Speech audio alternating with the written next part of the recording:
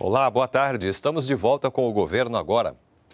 Hoje é Dia Nacional do Turismo e o governo federal anunciou nesta sexta-feira a liberação de 5 bilhões de reais para socorrer o setor. Os recursos vão atender aos que fazem parte do Cadastur, o cadastro único do Ministério do Turismo. E os funcionários dos Correios vão ajudar quem tiver dificuldades no cadastro do auxílio emergencial. Até agora, 50 milhões de brasileiros tiveram acesso ao benefício.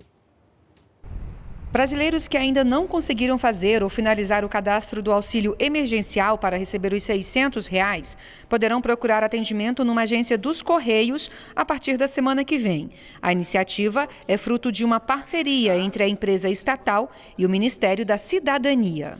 E os funcionários do Correio e todas as agências vão ajudar a que essas pessoas que têm mais dificuldade possam então obter o seu auxílio emergencial. O governo também informou que todas as pessoas que fizeram o pedido do auxílio emergencial em abril terão as solicitações processadas até a próxima semana. 17 milhões de CPFs estão em análise, tanto de pessoas que tiveram o cadastro considerado inconclusivo na primeira etapa, quanto de novas solicitações. E para reforçar a assistência social, mais de 1.600 municípios receberam nesta quinta-feira 159 milhões de reais para oferecer alimentação e equipamentos de proteção individual a populações vulneráveis, como idosos que vivem em abrigos. 1 bilhão e 200 milhões de reais serão distribuídos em duas parcelas para financiar o Sistema Único de Assistência Social em todos os municípios do país. A primeira parcela será paga a partir desta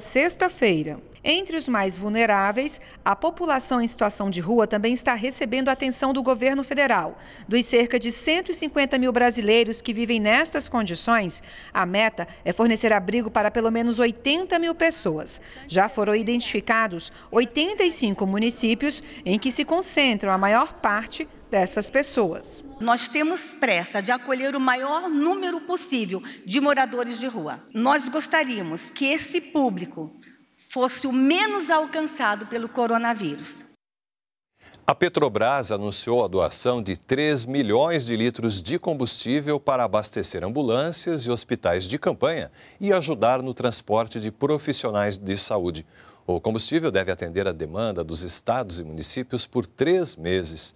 Ao todo, a Petrobras vai destinar 30 milhões de reais para colaborar com o combate à pandemia do novo coronavírus. A gente fica por aqui. Nos vemos na próxima edição. Até lá!